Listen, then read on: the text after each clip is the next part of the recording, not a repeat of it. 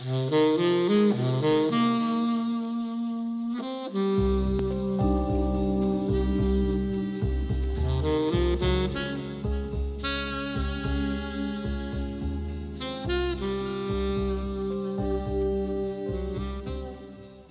and welcome to Hollywood Crime Scene. I am Joe Hollywood, and I am joined by Imaginos Pete. Hello, hello. And do we have a new nickname this week? Nick, what's what's a good uh, political name for me? the Honorable Nickname. Andrew Walker. Yeah, there we go. We can, we, we can do that. The honorable. What, Andrew. what about what about uh, the best friend of the the Cherokee, Andrew Jackson, President Andrew Jackson? There Yeah. you go. All right. an, an ironic that. name, but sh- oh sure, let's go with it. we have fun. right, right. So we dropped a little hint there that, uh, of course, the midterm elections are right around the corner. So we thought we'd go with a, a political theme today: uh, corruption, uh, anarchy, mayhem, and even murder. No!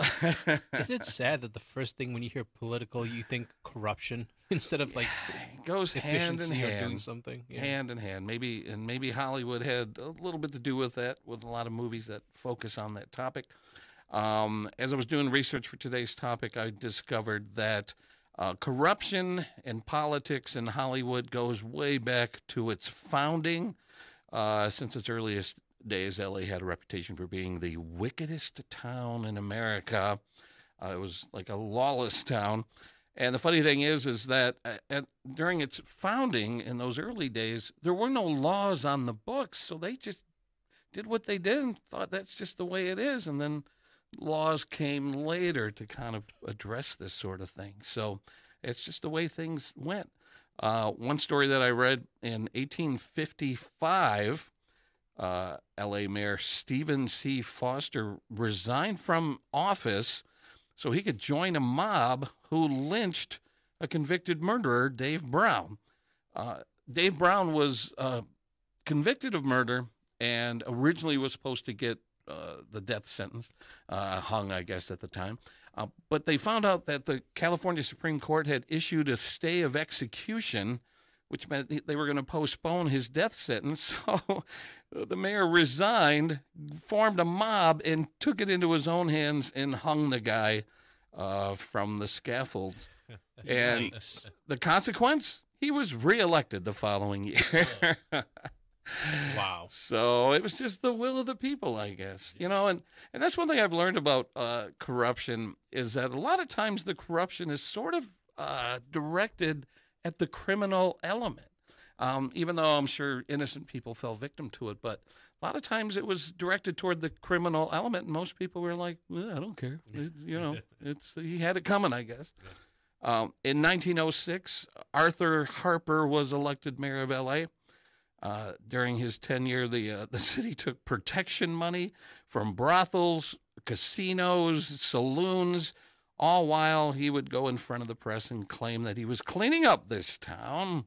And uh, when he was accused of visiting Madame Pearl Morton's brothel, uh, he defended himself by saying he was on a fact finding mission. uh, things don't change all that much. No, those sound like those. Yeah. Wow. That's hilarious. The Los Angeles Herald newspaper exposed him, and facing a recall, he resigned in 1909. Uh, but it just kept going. People don't learn. You know, uh, this, this could apply to the Detroit City Council. Like, people keep getting arrested and accused on the Detroit City Council, but it doesn't seem to end. They keep doing it for some reason. Like, it, it doesn't apply to me. Yeah. Well, also, it's not my guy that's corrupt. It's your guy that's corrupt. Yeah. You could look at, you know, what Congress. Congress has a low approval rating, but they keep getting reelected because it's not my, my guy's not the problem. It's your guy in your district in your state. Yeah, I, I just read something recently that a guy running for uh, reelection said, "I have a plan to to fix all the problems that uh, our community's facing," and uh, he's been in office thirty years. So it's like, who's causing these problems? Where are these plans you're talking about? That's when you have some heckler in the crowd. So then step down. yeah, exactly. Uh, that's politics for you. Uh, in 1915, Charles E. Sebastian was elected mayor. Uh, he was connected to that previous administration where the guy was forced to resign, the Harper administration.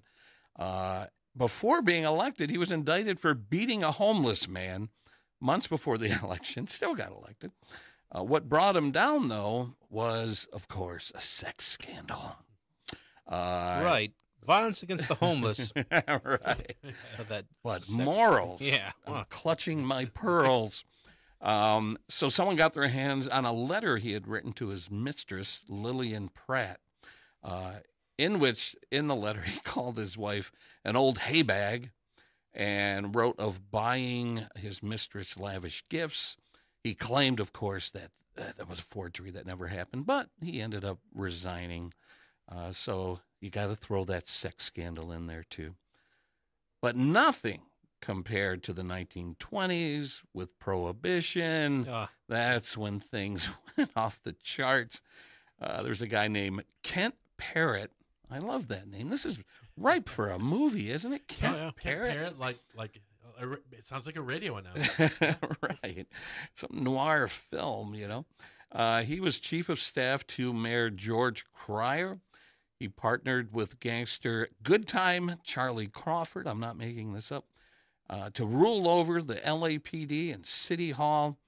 Bootleggers and gangsters flourished under police protection. Uh, so as long as they got their cut, as long as they got uh, their slice, uh, the, things just flourished while uh, the LAPD was like, uh, "We're we're here to serve and protect." so in the city of angels, it's better to be on the right hand of the devil than in front of him. All right, fair enough. That's right. Uh, they say corruption peaked in LA in 1933 under Frank Shaw. Now, this is kind of interesting. A cafeteria owner named Clifford Clinton launched an investigation to expose corruption. Now, why a cafeteria owner? What authority did he have? Interestingly, though, my friend Sherry, who lives in LA, uh, took me to a restaurant just a few years ago. I think it was 2019, called Clifton's. And I'm like, is there a connection? Well, yes. Clifford Clinton combined Clifford and Clinton to form Clifton's, and he started a chain of restaurants. And I didn't realize that I had eaten at one of his restaurants. And it's a really cool place. There's multi levels with really crazy taxidermy and and uh, interior design. It's really remarkable. wow. Uh, so this guy took it upon himself to expose corruption. Uh, in October of 1937, Clinton's home in Los Feliz, I like to say Los Feliz, but apparently the locals say Los Feliz. Yeah. Uh, his home was bombed. Uh, no one was hurt. Uh, but a car with a license plate tied to the LAPD was seen fleeing the scene, of course. And then in January of 1938, private detective, private detective Harry Raymond's car exploded when he turned the key. Three policemen with ties to City Hall were convicted of attempted murder.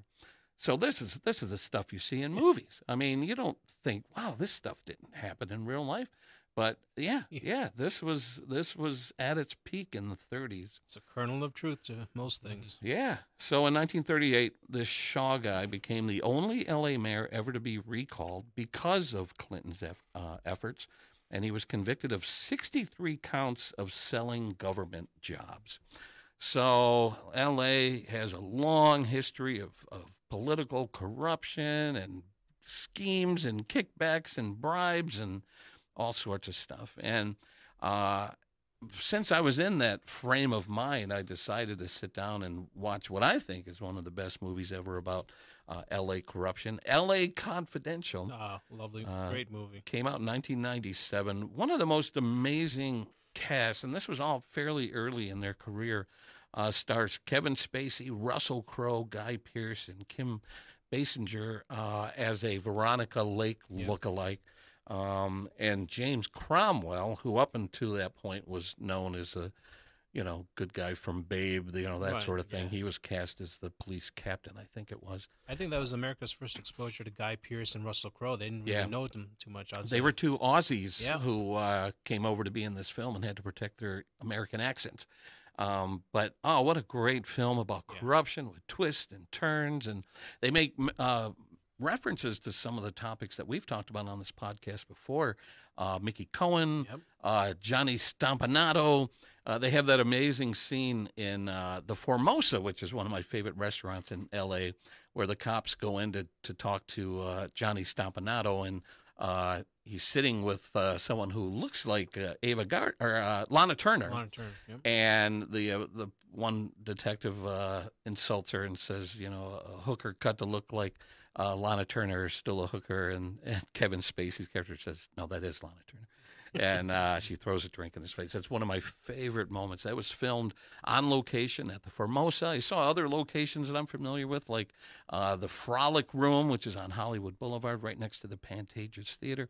Uh, so really cool locations that really captured the vibe of the 50s era Los Angeles. And uh, I think by the time the 50s rolled around, I, I think um, the corruption had died down a little bit, but the movie did a, a great job of depicting Oh yeah. uh, that. And the title "L.A. Confidential" is based on uh, scandal magazines of the time, which in the film was called Hush Hush. Yeah. Um, but there was a real life magazine called Confidential, and there was another one, uh, kind of a scandal rag called Hollywood Confidential. So the title of the movie is based on these scandal rags that would It- try to expose actors. It was a good and- book series. It was that quartet series that Yeah. Quartet that Black Dahlia. I think we've talked about. That was one of them. So Yeah. yeah, that was was very well done. Yeah, yeah. I'd like to uh, read some of those other books because uh, L.A. Confidential is one of my favorite movies. Just great performances, and, and Kim uh, Basinger is it Basinger? Ba- ba- I think it's Basinger. That's how I Uh, heard it. Basically. Yeah, she she won an Oscar for her Yeah. role as uh, the hooker with the heart of gold. Um, another great movie about L.A. corruption is Chinatown. Came out in 1974, starring Jack Nicholson, uh, Faye Dunaway, and the legendary John Huston. And the interesting thing about that movie, I love the movie, but I can't. I, I can. I have to admit, I don't fully understand what the hell is happening in that movie. And I think about a quote that I heard from somebody. I, I, I, don't know if it was John Huston or maybe the director of Casablanca or whatever, but somebody said uh, the audience doesn't necessarily have to be able to follow the plot as long as they're enjoying the ride and having a good time. And I'm like, you know what? I kind of agree with that. I mean, It's a very convoluted plot, Chinatown, with again, uh, 1974. In the Mhm. 70s, you can't have a happy ending. Yeah, it was yeah. taboo until Star Wars, pretty much. yeah, yeah, exactly. Especially anything with uh, Jack Nicholson. At Yeah. It's like Jack. Do you ever make a happy movie? Just Yeah. once. oh, he was so great in that, Oh, yeah. so amazing. and- Whatever happened to that dude? Yeah, Is whatever he- is he became still of that? No, Pig- no, picking retired. out uh, courtside at the Lakers games, Oh, yeah. eating hot dogs. Yeah, oh, that was that was great. Um, but yeah, that like revolved around payoffs for water rights, Yep. and uh, I'm like, okay, I don't know what's going on, but I'm I'm enjoying the The, ride. the plot of that is similar to, I think I might have mentioned this a while ago, uh, Roger Rabbit. That is next on my list. Oh, Who Framed Roger Rabbit, 1988, with Bob Hoskins, Christopher Lloyd as uh, Judge Doom, and Oh, yeah, very yeah. similar storyline about payola and and trying to buy up property so they can build the freeway. old, uh, old L.A. Yeah. 1940s about. Yeah, as a matter of fact, LA Confidential has a scene where they're talking about uh, putting in the uh, the freeway and they're buying up property. I, so I um, still still need to watch it. yeah, Yeah. yeah, but yeah. So Who Framed Roger Rabbit it has the same sort of uh, vibe as Chinatown and LA Confidential, and uh, just a, a great, great, entertaining movie. You know, Joe, you were saying there's. Uh, sorry, I mean, there's You're a movie called "See How They Run" that just came out, uh, and it, uh, Adrien Brody plays a director who's trying to direct Mousetrap, Uh, and he mentions something because there's a d- argument with the with the writer, and he goes, "It's it's like Hitchcock. People only remember the last twenty minutes anyway. that's right. The audience remembers the last twenty minutes, so don't worry about it." Yeah, the big twist at the end. That's usually the third act. You know, I've I've seen enough movies where I I, have I pretty much expect you know the first act where you get to know the characters and everything. Then there's always that dark middle act where people fight and bicker and argue, and and it has always that takes a dark turn. And then the resolution in the third act, which usually involves some sort of twist, and everyone remembers the twist, right? the big twist at the end, and uh, all of these movies have uh, have that uh, that reveal, the big reveal. And then, of course, a Hollywood movie that's not necessarily set in Hollywood, but it's all about political corruption, is uh, Mr. Smith Goes to Washington, Oh, yeah. uh, 1939, starring Jimmy Stewart, uh, Jean Arthur, or Jean Arthur, and uh, the great Claude Rains, who's just terrific in everything he does. He was in Yeah. Casablanca and Yep. uh, the uh, Errol Flynn, uh, Robin Hood, and yeah, yeah, he was just great in everything. And and you know, I remember the first time I watched it, which wasn't too long ago, probably within the last ten years or so, and I was heartbroken broken to realize that you know this movie was made in 1939 and a lot of that political corruption that you saw in the film still is taking place today and I'm like why aren't people learning? Why aren't people evolving? You know he he goes into Washington as this naive idealistic politician who was appointed to fill a vacancy. He wanted to have a, a boy scout camp built or something and he had a hero that he, wanted to emulate and his hero stabbed him in the back and they smeared his name and i'm like oh my god. And it was a lot of the same stuff we see today. It just never seems to change. It never seems to improve. I mean i remember watching the series uh, john adams i think it was on Yeah, hbo, HBO, yeah. years ago Paul Giamatti. and man, right at the, the foundation of our nation, there was backstabbing and political oh, absolutely. rivalries. Always and, is. Oh my gosh! So it's always been a thing. Uh, Andrew, you got a you got a political corruption movie you want to talk about? Joe, uh, I'm sure there's some evidence uh, d- d- dug underground about uh, a quarter mile from here. and we're talking about Mr. Jimmy Hoffa, folks. Detroit's own Jimmy Hoffa.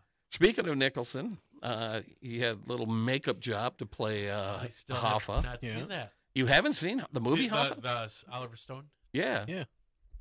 Have not. Yeah, I um I don't know, you know, how it rates with fact versus fiction and I don't even was any of it filmed in Detroit? I think there might have been some Uh, scenes s- uh, filmed there in were Detroit, a few. There were a few. like were in downtown I, I definitely yeah. need to check it out. yeah. But but yeah, it, Joe uh, and Nick, whenever we a couple weeks ago when we were talking about what to do for this episode, I thought I'm going to do what I do on every episode: try to hook in the Detroit Yeah. angle of whatever the topic is. And uh, one of you two, or maybe I came up with it myself, I don't know, but I figured, hey, why not? It's literally in our backyard, Jimmy Hoffa. Yeah. So, uh, the Hollywood connection I thought about was I know Hoffa was made, but like I said, I haven't seen it. Uh, I was thinking of The Irishman, Mhm. um, uh, the Scorsese film, Yeah. with Robert De Niro playing uh, Frank the Irishman Sheeran, and uh, De Niro playing Hoffa. Now, have, did, remind me, did you guys see this? I did not. I Mhm. did not see The Irishman. I've heard good things except that it was really really long. Three and a half hours, my friend, but it is excellent. I would say split it up over three nights. Do an hour Yeah. and ten minutes a night. Excellent, excellent movies. Um, I believe some of it was shot around here, but I know uh, the location where he um, disappeared from, the old uh, Red Fox on Telegraph. yeah. They filmed. Is it Andiamos now? Yep, Is that what is? Yeah. Yeah, yeah. Right, right there at uh, Maple, I think Mhm. Maple and Telegraph. They shot that in California, and it looks nothing like. Uh, I was, I said, Scorsese, who is your location scout? My gosh. Um, Yeah. But there are other, like at least visual representations of of the 1970s Right. Detroit. Anyway, um, excellent movie. But yeah, I, I, I, I think it's a fascinating case. I think it's ripe that we could still to this day kind of discover stuff and maybe talk to some people who are kids of people who were alive and knew the Hoffman. oh, there are themselves. many many Yeah. people here in this town And uh, I that think- knew him. I think, hey, it's ripe for a, a group project. If ever, if anyone listening out there is involved, let's work on a Hoffa project. I think in, Yeah. in, in about 10 to 15 years, there's going to be several deathbed confessions about people. Well, anytime now because that Yeah. was in 1975 when he Yeah. disappeared. Yeah. 1982, I just read, and I didn't know this when he was actually pronounced dead, because there's no possible way he could be alive that long. So, uh, just going over his Wikipedia page, yeah, there there are people who have confessed things, but so far they've been wild goose chases. But I think the truth almost always comes out about stuff like that, or at least it, don't it comes know. close. See, there was a guy uh, just a few years ago. I want to say 2014, 2015, something like that. There was a guy who claimed to know the story, and he was known as sort of a big mouth, sort of a rat, sort of a guy. And I don't think they would have given him that information. And so he claimed that he that he knew that Hoffa was buried uh, at Orion and Adams Road, uh, a few miles from where we're sitting right now Yeah. and they started digging up that property. They found like this concrete slab, which I think used to be the floor of a barn or some sort of a structure. They lifted up that concrete slab, dug underneath it, and found absolutely no evidence that anyone had ever been buried there. And I feel like they deliberately, knowing that this guy was sort of a big mouth, that they may have fed him misinformation, knowing that he might talk, which is exactly what he did, Yeah. and it led to a big nothing burger. But here's kind of a neat little story. Um, so when that dig was happening, I went over to the site. I shot some video, interviewed the sheriff, and I had heard that Hoffa lived here in Orion Township when we we're recording this podcast. And so I reached out to Township Hall and I said, I don't suppose you happen to know the address, do you? And they said, Yep. And they gave me the address. They said, Be careful because the guy who lives there doesn't like trespassers on his property. imagine. So I drove.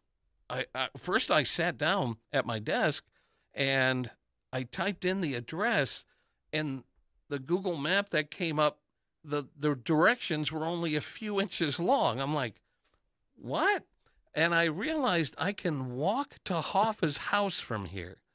I I was shocked when I typed in that information. It is literally within walking distance here.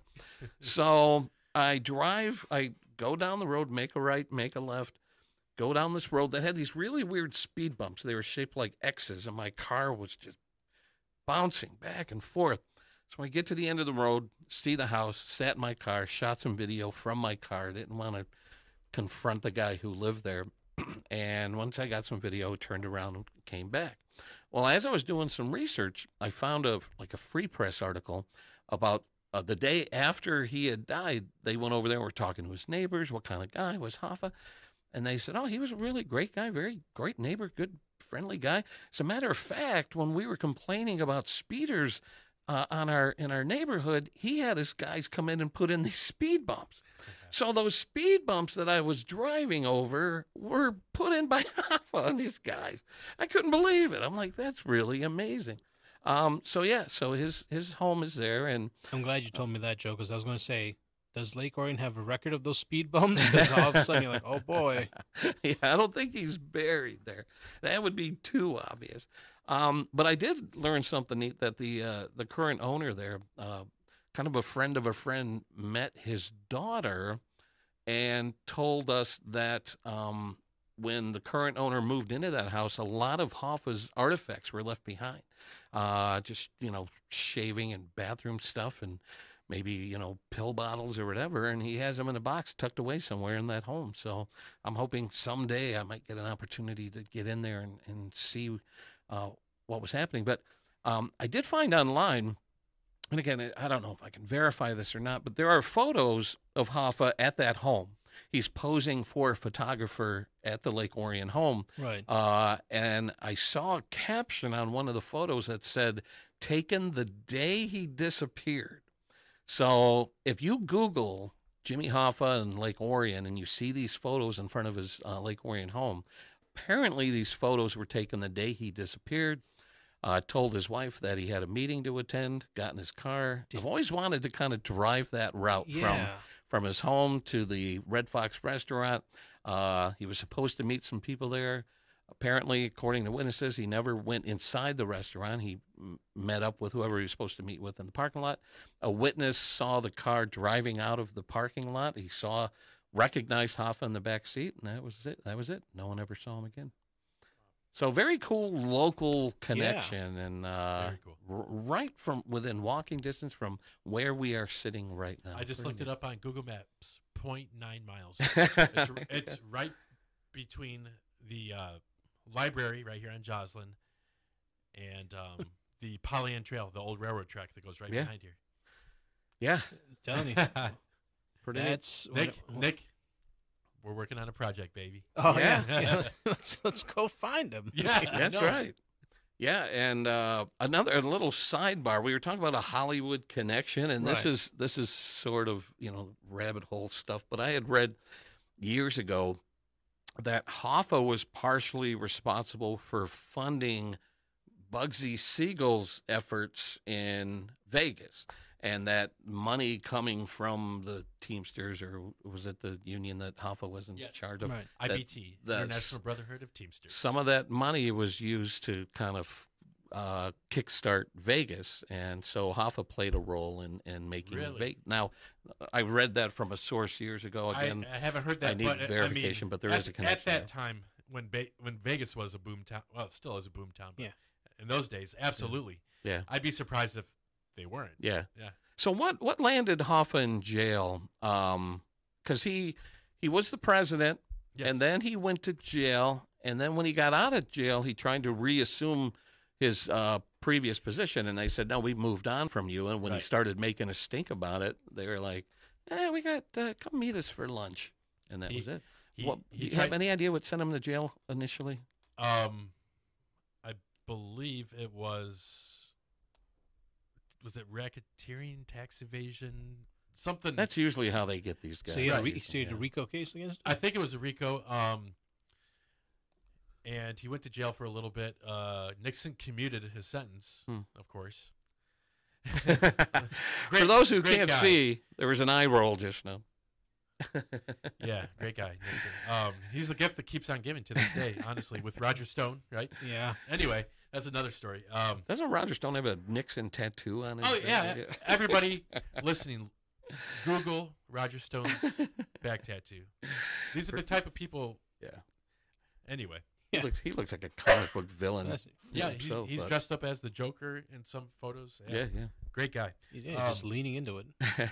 Where was I, gentlemen? so uh, we were talking about what sent him to jail. So it was mostly finance related stuff. I, I, and, uh, I, I believe so. yeah. And he got cu- commuted. Um, when he got out, this is what I think happened. Just the l- little bit of research I, I've done. Um, obviously, he would have had to rat somebody out to get commuted. Um, by he, he by, must, by he, mu- Nixon. he must have had dirt on something. He because- did. name names. A- and yeah, I I think he named names. Once he got out and tried to get big again at a local Teamsters uh, called two two ninety nine. I don't know in the city where it's located, or maybe it's around here. Anyway, I think somebody had enough of him because he had burned too many people with, uh, you know, naming names and Mm. and ratting. That they said, hey, we can't let this guy go any further because this is our territory. This is Detroit is our territory for the Teamsters. Excuse me. Um, and hey, he he did us bad. He's got to go. Yeah, yeah. Now, some people claim that he had a uh, he had a, uh, a boat launch, sort of a boat dock uh, on Lake Orion, and but his home is actually on a lake called Long Lake. Uh, from what I read, if you did see him boating around Lake Orion, he shared a boathouse with somebody who allowed him to store his boat in their boathouse. And I remember taking a, a historical tour around the lake, and someone pointed out the boathouse and said, "This is where Jimmy Hoffa housed his boat." So now there is a boathouse that has a big H on it, and people say, "Oh, that's where it was." And it's like, no, no, he he wouldn't have had the H on the boathouse because it wasn't his. He shared it with somebody else.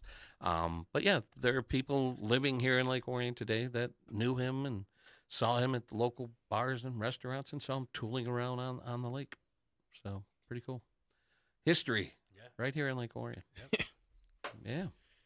Well, I mean, when it comes to political corruption and uh, and and Hollywood, I mean, yeah, you bring up you bring up Hoffa, and then if we come to more modern times, I, you know, when you guys were mentioning that he got killed, it's either he ratted someone out or he knows too much information, and you can almost imagine. I mean, we talked about this before with Jeffrey Epstein. hmm You know, all the Hollywood, everyone in Hollywood was kind of going towards him. In fact, him and Weinstein were actually friends for a while, and in the I think in the in the Daily Beast or in, or in um, Politico, they reported that they had a falling out because Epstein got mad at Weinstein for coming after one of his girls. Hmm.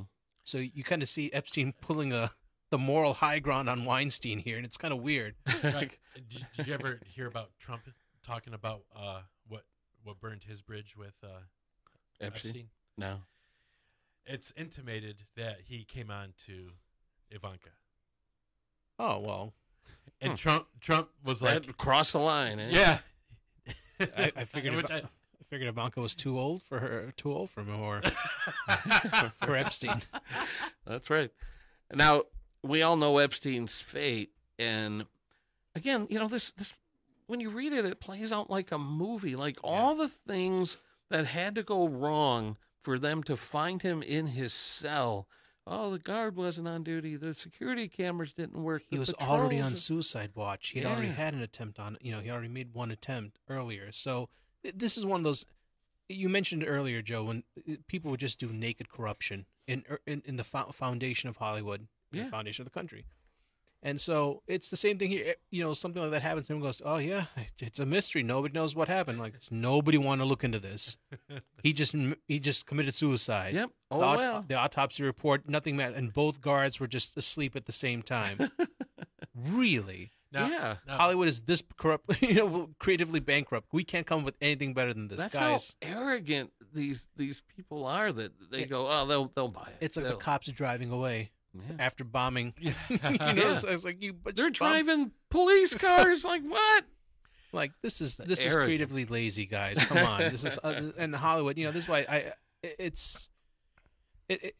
I mean, I'm almost at a loss of words for it, but uh, no, a political corruption and and its ties with Hollywood are just it, they go back to its foundation, and they happen now, and people don't learn because it's all about access to power, and then everyone everyone wants to act like, oh, I don't know this guy, I never did any homework. I mean, Joe, let me ask you this: If you got invited to a party and said, and I said, "Hey, Joe, there's this guy, and uh, he's kind of a bigwig. You know, I, I- don't know too much about him, but there's going to be a lot of people there." Man, you'd say, "All right, well, I'll, I'll meet you there, Nick." And then, wouldn't you at least be curious as to who this mysterious person is? "Oh, sure. where, where am I going? Who owns this house? And you're like, "Oh, wait, this guy came up on the Google search. What? He went to prison for what? Oh no, Yeah. yeah, Nick, uh, I can't make it.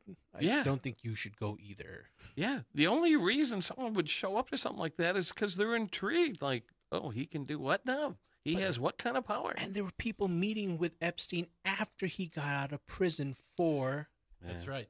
in Yeah. 2000 you know anytime you meet him so anything pre 2007 you could say okay you didn't really know he wasn't arrested no one knows anything maybe you can have an argument that you didn't you didn't know sure Yeah. anything anything after that you ha- any politician you have staff this is their only job to make sure the boss doesn't go and meet with someone that could end their political career Yeah. I'm still waiting for that little black book to surface. Yes. Uh, what's Yeah, her name? yeah. Ghislaine. Uh, Ghislaine. Ghislaine Maxwell Ghislaine- Yeah, she. Netflix already just put a documentary out it, it's Where's out there the book? Where's the names? What's it? What's it called, Nick? uh I, I don't know I, I I just I have to go I have to Is I, it like I- really recent? Yeah, yeah, it came out. I think it's out. It just came out in the last month, I think. Oh well, then hopefully that'll get the ball rolling for I, I have an a feeling. investigative journalist. uh, I have a feeling we're, we're never. It's never going to see the light of day. There's of too day. many I think. I think someone with authority said, "When you get your hands on that book, we're going to destroy it." Who, who do you guys think would be the writer slash director to take on the Epstein movie? You know, that's hard Who- to who- say, but uh, they couldn't. They couldn't conclusively name names. It almost Right. have to have sort of a fictional component because they could Sure. probably get sued Yes, yes. if they course, even course. hint that They- existing people took that- part in that. so if that- Tarantino. if that director named names in the movie, you you, you know what's going to happen. But you you know you intimate at things. Yeah. You know, I think David Fincher could do it. Yeah. Think about this what he did with the Social Network, Hmm. and showing the subtle uh, sociopathy of um, Zuckerberg. yeah. Yeah. Yeah. Anyway. and and you were talking about uh, Weinstein. You know, when when all was revealed about him, all of a sudden all these stories started surfacing that this had been going on for years, years. if not decades. Yeah, and it's like, who was suppressing this? Why was it? Because he was powerful? Because he could make or break your career? Like, why was all this suppressed until all of a sudden? The, the dam broke and all this information came out. Who was responsible for protecting this guy all these years? Everybody who had something to lose because they'd made, they they got in bed with them. Not hopefully not literally, but You know, metaphorically. some cases, yeah. Yeah, I mean there were a lot of people that stepped down. The the MIT lab um, Ito. I think uh, he was on 60, 60 Minutes. He he founds the, it's it's the I forgot the name of the lab. Uh, they basically any kind of future stuff that's going to get invented, the genius is there, dude, and he gets money, and they'd have to go through Weinstein or Epstein to to get it. So anyone associated with them had to start stepping down and saying, "Oh, I didn't know about this stuff." I'm like, "Come on, buddy." You know, they got the emails to prove it. Wow. Man, what else did you have? Did you were you going to bring something else to the table?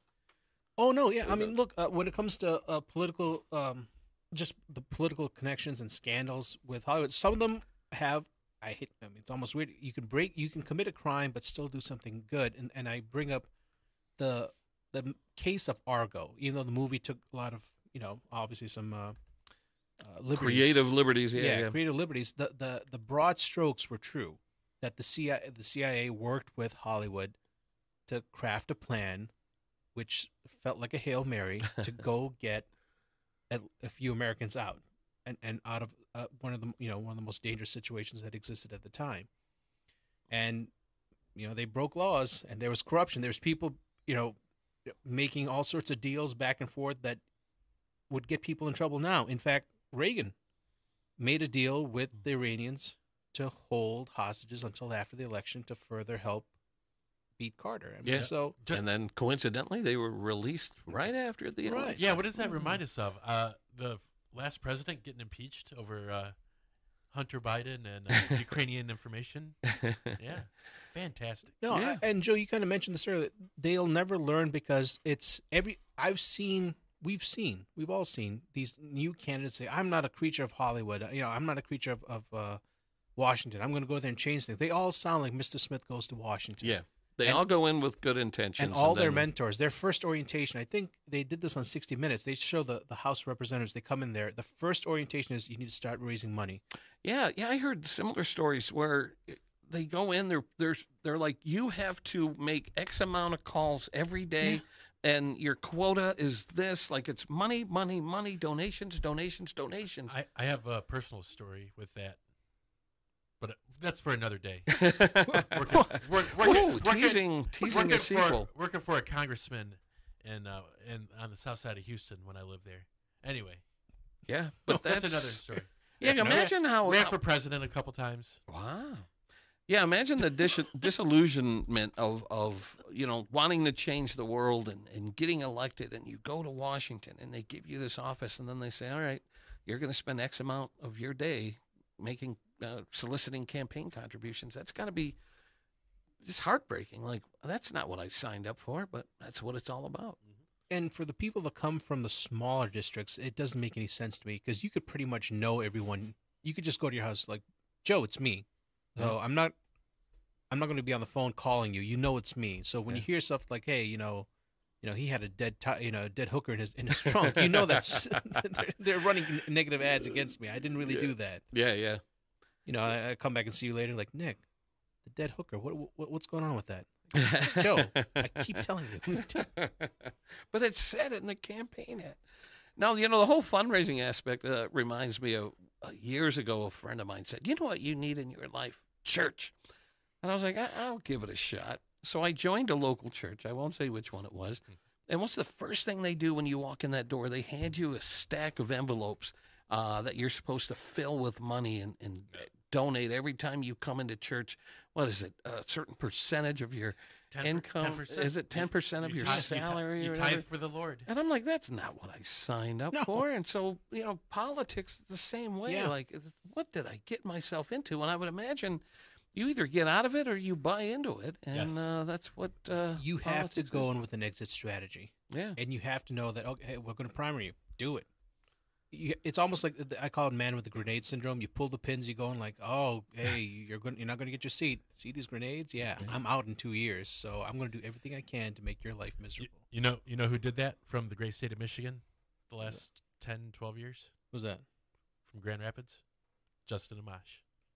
Amash, yeah, He he knew how to get out with Hmm. leaving the Republican Party, then becoming a libertarian. Knew that he was getting redistricted. Knew he was going to lose, and said, "So long, suckers." Wow.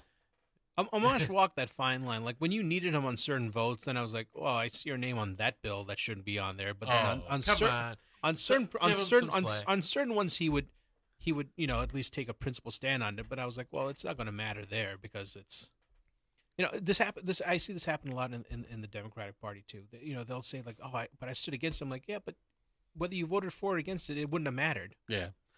And and think about this. Imagine that you are a politician, you're you're you're integrated into this machine and you think, "Wow, this is wrong." And then somebody says, "We will pay off all your debts. Yeah. We will pay off your mortgage." And I'm not again, I don't want to name names here, but there are certain Supreme Court uh, justices who've had their entire debt wiped clean. yeah So, a qu- hey, a quarter yeah, mil. for- Yeah, for And the maybe I base- can baseball buy debt. into And the worst thing is, you could you can request these because they're public officials, and they'll present it to you, and they so they don't hide it. It's just it's again like the cop thing. They Mhm. don't even hide it That's anymore. the arrogance of it all. Yeah. They don't even hide it anymore. Now it's like, oh, As long as it's legal and and you have some some hotshot lawyers, you can do whatever you want. Mm-hmm. Yep.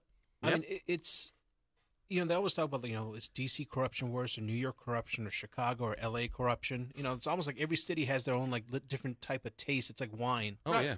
It's what the, what what was your city founded on, and what's its main industry? Yeah, Mm-hmm. Like with Hoffa, he met the labor uh, union auto Oh sure.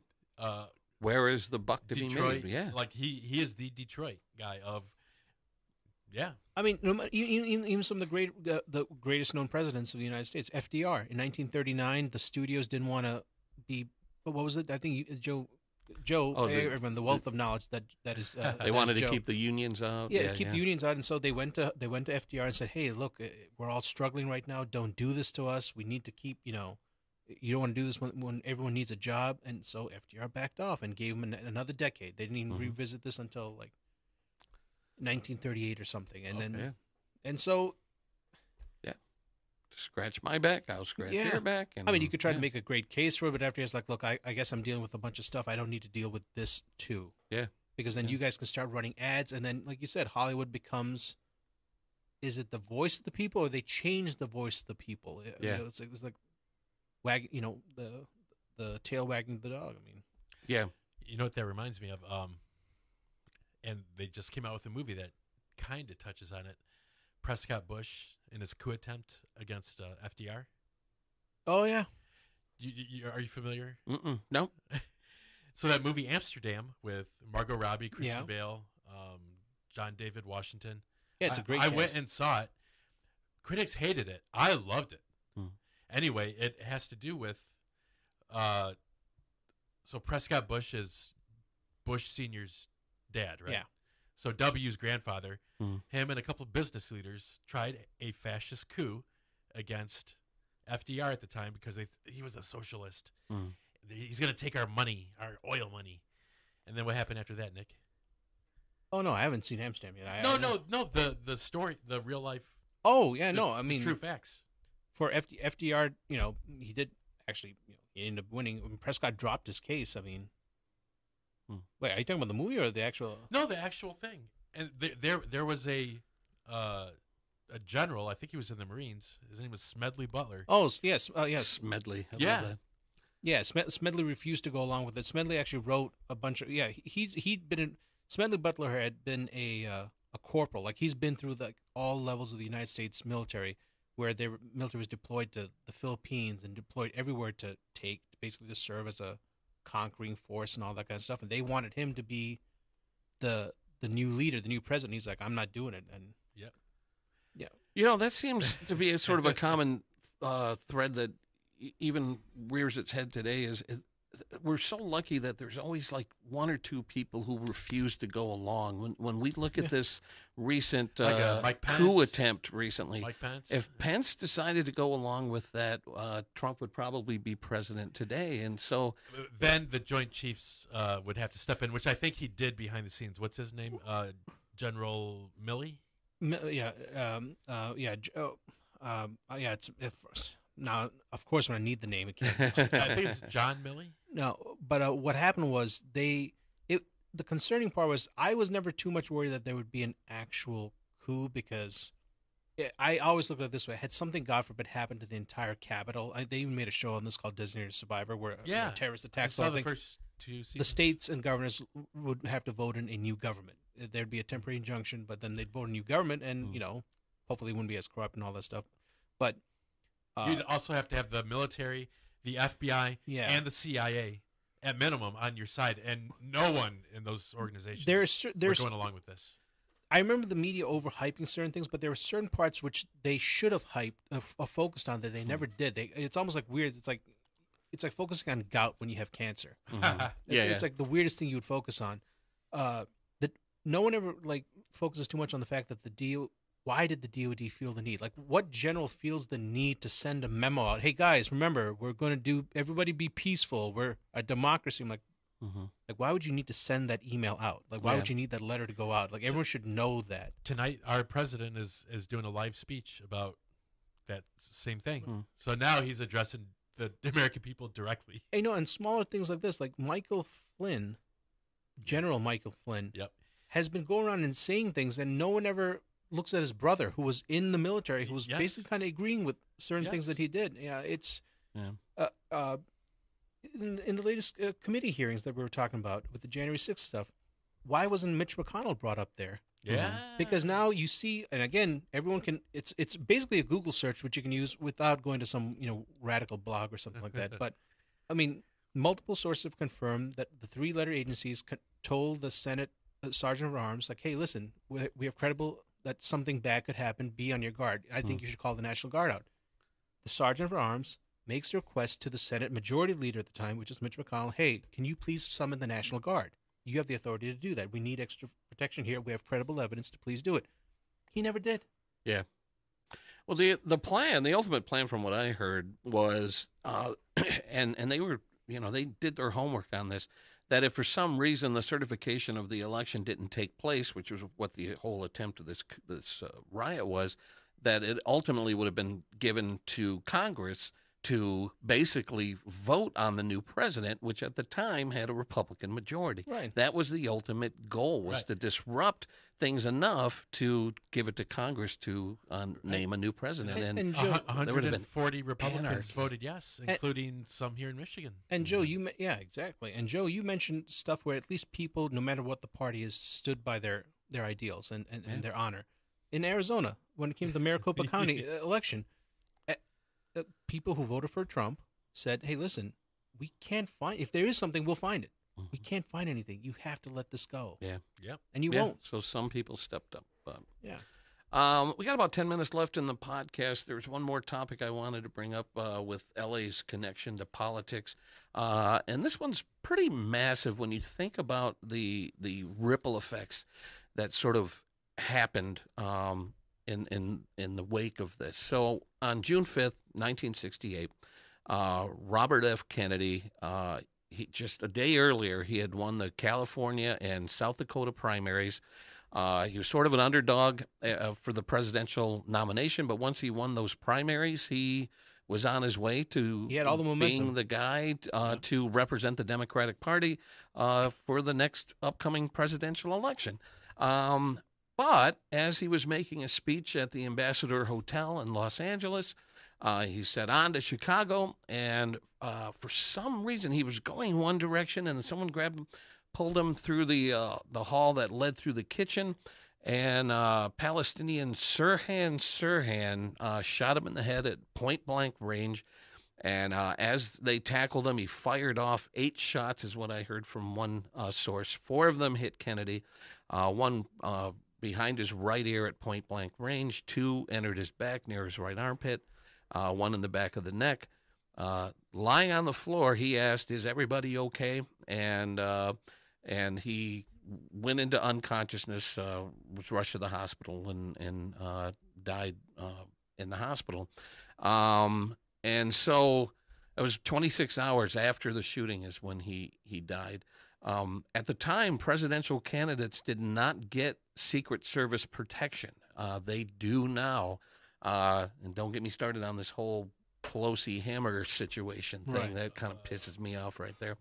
Um, now, uh, why why did Sirhan Sirhan do what he did? Well, they found a diary with entries in it saying that uh, RFK must die. And the reason is, again, I mentioned he was a Palestinian. He was angry that the U.S. and uh, Robert F. Kennedy supported Israel.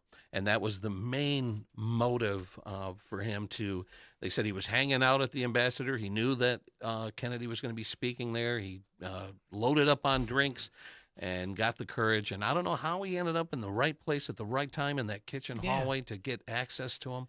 Um, but Yeah, there won- he was. I, wonder if uh, Papa Bush was in town then too, uh, like he was uh, uh, in And you know- Dallas in 1963. And again, we could go down a rabbit hole, but you, when you just say the, the known facts out loud, they sound categorically absurd. and Yeah. that's Almost as if somebody planned this and wrote it out in a and script. that's what leads to conspiracies. Like what was this guy? How did he get access to the Democratic nominee for the president? And like I said, when you talk about the the ripple effects, uh, had Kennedy not died, likely he would have been the next president of the United States. Um, yeah. when yeah. he died, um, uh, who was it? Nixon. Uh, Yeah. Well, Nixon ended up winning. Uh, 'Cause- Hubert Humphrey became the Because Democratic Lyndon nominee. Johnson wasn't going to run again, yeah. Yeah, and so he lost to uh, Nixon. So you got to wonder if if RFK would have gone up against Nixon, would he have won the election? He would have beaten I him just like his so. brother did. Yeah.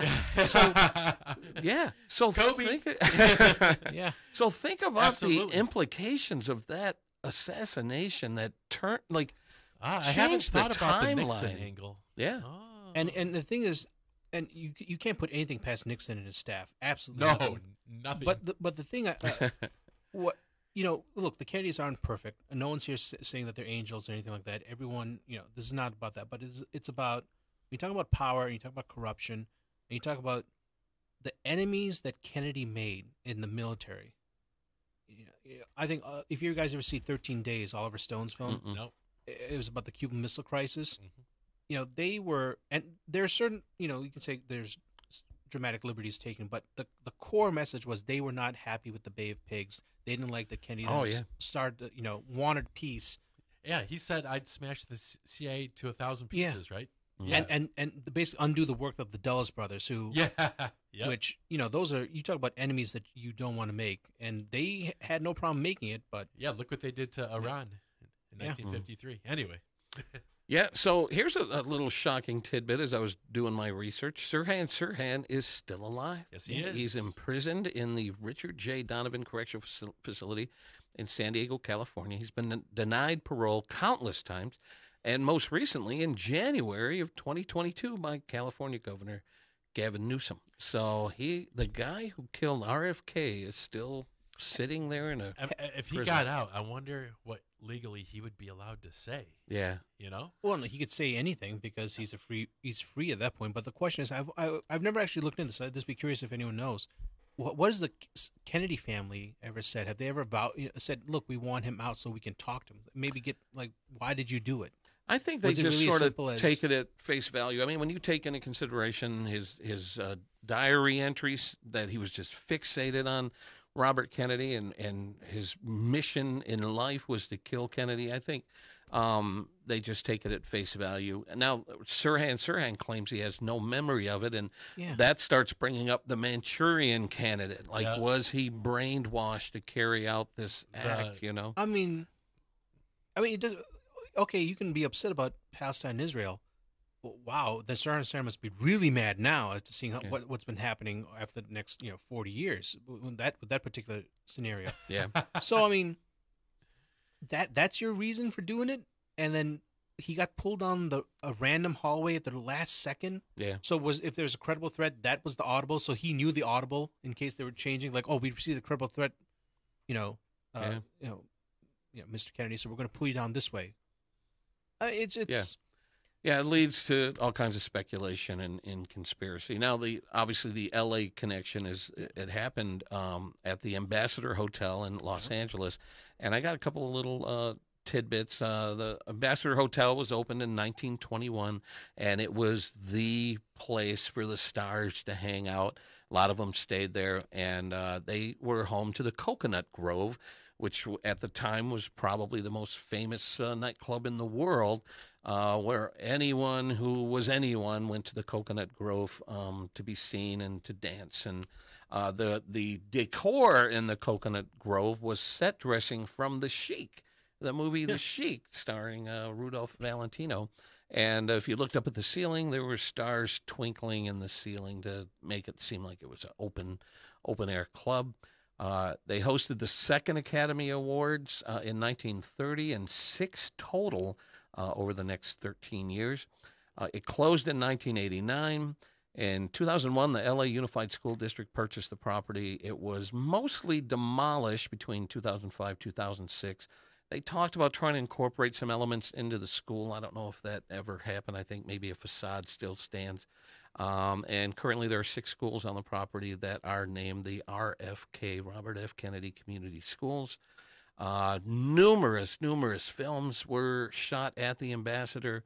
Jean Harlow's 1933 film Bombshell, Forrest Gump, uh, Almost Famous, Apollo 13, Catch Me If You Can, Hoffa, uh, That Wow. Thing You Do, Pretty Woman, The Mask, uh, and one of my favorites, The Graduate, where uh, Dustin Hoffman Yeah. rendezvous with uh, with Mrs. Robinson. I, I love Uh, that list of all these great movies, and then The Mask is thrown in there. Yeah, yeah, exactly. The mask and the wedding singer with Adam Sandler.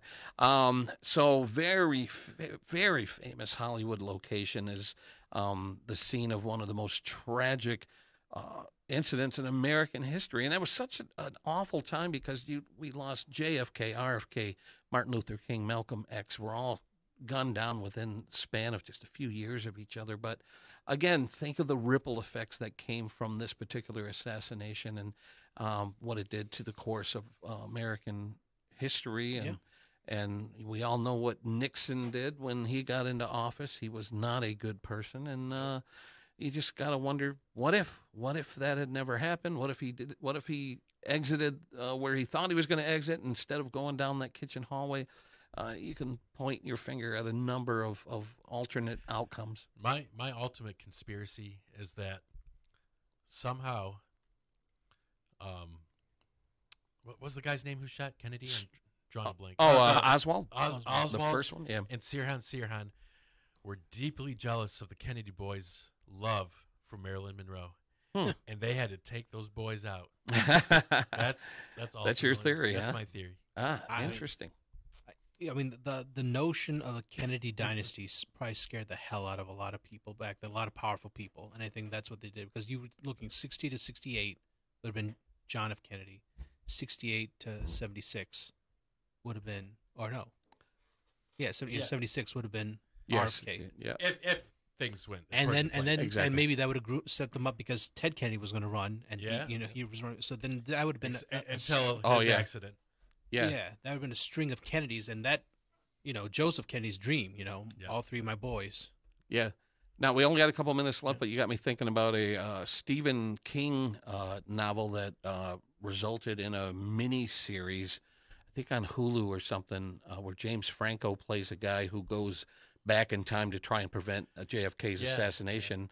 And uh, spoiler alert: when he finally does manage to do it, the outcome isn't quite what we thought Oh, it's pretty pretty interesting take on whether the Kennedys were heroes or villains, and uh, who knows what what would have come uh, Right, I mean- they survived those assassinations. I mean, people change, uh, circumstances change. There was a time where John F. Kennedy was willing to not back down from the Russians, and so, you know, fortunately, cooler heads prevailed. I mean, so who knows? But you're Mm. right; it's one of those inflection points. Yeah. And with that, that brings this episode of Hollywood Crime Scene to an end. Uh, get out and vote. If you hear this before election Yes. day, get out and vote. please. take part in the process. Uh, you can't complain if you don't uh, get to the polls. Guys, another fascinating conversation. I enjoyed it always. Yes. And uh, we'll see you guys again soon on an upcoming episode of Hollywood Crime Scene. Mm-hmm.